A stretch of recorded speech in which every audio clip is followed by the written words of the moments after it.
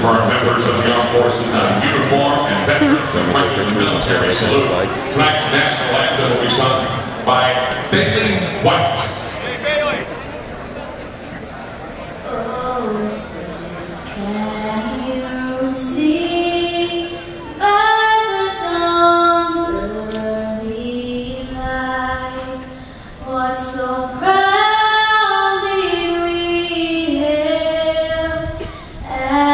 twilight's last gleaming, whose broad